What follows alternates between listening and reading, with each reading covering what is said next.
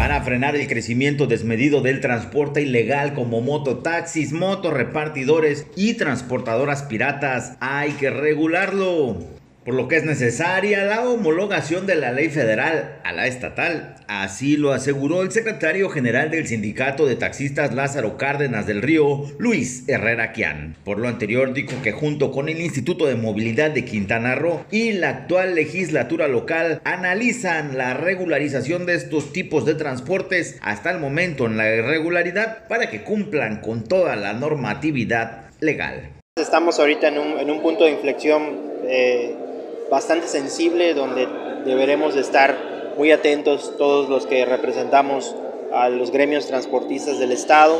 Efectivamente, tiene que haber una homologación de la ley federal a la ley estatal. Se está trabajando en ello. Eh, estamos nosotros ya, ya iniciamos algunas mesas de diálogo. Todavía no son mesas de trabajo, son mesas de diálogo. Eh, confiamos, confiamos en la autoridad estatal, en nuestros eh, diputados, en que, bueno, Estamos atentos al llamado para poder participar de manera eh, proactiva en esta homologación. Y con respecto a lo que eh, señalas eh, del tema mototaxis, no solo el tema mototaxis, también tenemos nosotros la disyuntiva con el tema de motorrepartidores, desde luego con transporte federal, con el transporte pirata, ¿no?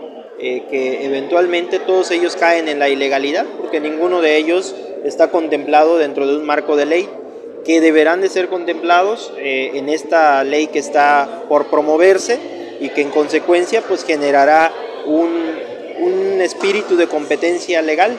Con imágenes y edición de Pepe Mata para Notivisión, Edgar Olivares.